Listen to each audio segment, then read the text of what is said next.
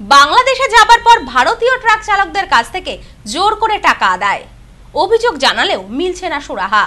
সীমান্ত বাণিজ্য বন্ধ রেখে প্রতিবাদ ট্রাক চালক ও ট্রাক মালিকদের।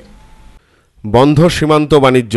সোমবার ট্রাক মালিক ও শ্রমিক একত্রিত হয়ে বন্ধের ডাক দেন, যার ফলে সম্পূর্ণ অচল ভারত বাংলাদেশ সীমান্তের পেট্রাপোলের সীমান্ত বাণিজ্য। আন্দোলনকারীদের দাবি, ভারতীয় ট্রাক পণ্য বোঝাই করে বাংলাদেশে যাবার পর ট্রাক খালি করা বা অন্য অজুহাতে ভারতীয় ট্রাক ড্রাইভারদের কাছ থেকে বকশিস নেবার নাম করে এক প্রকার জুলুম চালাচ্ছেন বাংলাদেশ বেনাপোল বন্দরের এক শ্রেণির মানুষ। সেই বকশিসের টাকার অঙ্ক কোনো কোনো সময় তিন থেকে সাড়ে তিন হাজার টাকাতেও পৌঁছে যাচ্ছে বলে দাবি তাদের। এ বিষয়ে ট্রাক চালকদের দাবি, শুধু বকশিস নয়, ট্রাক থেকে পণ্য চুরির মতো ঘটনাও ঘটছে। অভিযোগ জানিয়েও কোনো সুফল পাচ্ছেন না তারা। বাধ্য হয়ে পণ্য বোঝাই করে আর বাংলাদেশে যেতে চাইছেন না ট্রাক চালকেরা। এ বিষয়ে বনগা মোটর মালিক সমিতির সম্পাদক দিলীপ দাস বলেন, দিনে দিনে অত্যাচারের মাত্রা যেভাবে বাড়ছে, আগামীতে আমরা এই বন্দর থেকে কাজ বন্ধ করে দিতে বাধ্য হব। প্রথম থেকে চলে আসে সেটা দশ টাকা থেকে বাড়তে বাড়তে জায়গায় এত বড় হয়ে গেছে যেটা আমাদের পক্ষে সম্ভব এখন বলছে তিন হাজার টাকা থেকে সাড়ে তিন হাজার এবং ইন্ডিয়ান কারেন্সি দিতে হবে। Why should we pay our Indian currency আমাদের বক্তব্য হচ্ছে কেন এত টাকা দিতে হবে? এখন যতক্ষণ পর্যন্ত এটা বন্ধ হবে, আমরা জানা গেছে, বাংলাদেশের ভেতর বকশিস নেবার নামে টাকার জুলুম দীর্ঘদিনের।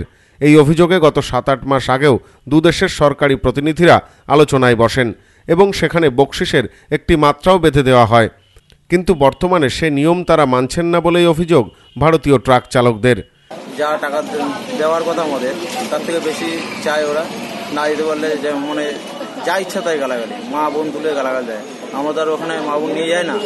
কিন্তু বাধ্য হয়ে আমাদের না যেতে পারলে ভালো হয়, এরকম একটা পরিস্থিতি হয়। মোটামুটি আমাদের বারোশো টাকা করে দেওয়ার কথা।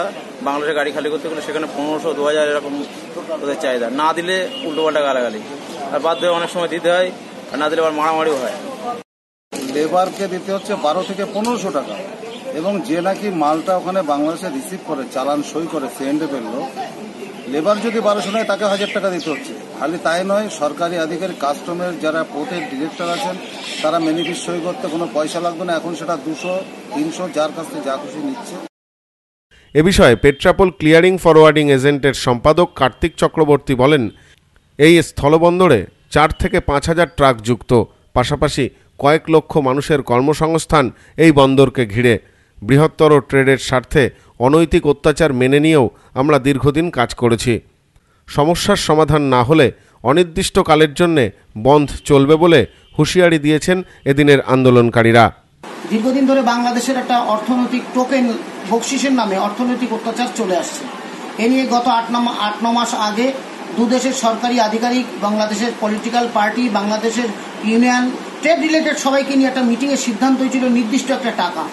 যদিও সারা পৃথিবীতে বকশিসের নাম করে নির্দিষ্ট কোনো করণ নেই। এক্সপোর্টার বা ইম্পোর্টারের দেওয়া নেওয়া গাড়ির ড্রাইভাররা তারা খুশি হয়ে দিতেও পারে, নাও দিতে পারে। কিন্তু বাংলাদেশের বেনাপোল এমন একটা জায়গায় দাঁড়িয়ে আছে যে বকশিসটা তারা নির্দিষ্টকরণ করল। বাংলাদেশের এই দাবি বৃহত্তর ট্রেডের স্বার্থে এই ভারতীয় গাড়ির মালিক, ট্রান্সপোর্টাররা মেনেও নিল। তার পরবর্তীতে শুরু হয়েছে যে টাকা নির্দিষ্ট ছিল তার থেকে আরও বড় বেশি পরিমাণে অর্থনৈতিক অত্যাচার শুরু হয়েছে। আতঙ্কিত আমরা যে বেনাপোলের এই অর্থনৈতিক অত্যাচারের কারণে আমাদের বেনাপোল আমাদের ভারতবর্ষের বেনাপোল পেট্রাপোলের ব্যবসা বন্ধ হবে কিনা?